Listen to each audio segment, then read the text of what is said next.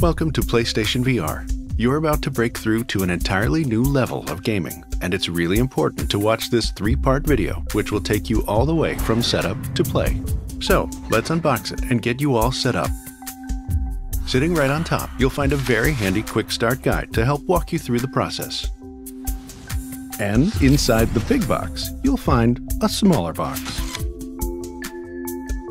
In here, you'll find the printed materials, PSVR's processor unit, a USB cable, the AC adapter, stereo headphones, the AC power cord, and the HDMI cable. If you have the CUH ZVR1, you'll also find the VR headset connection cable. Place all these items aside to now reveal the PSVR headset. It's okay if you just want to look at it for a few minutes.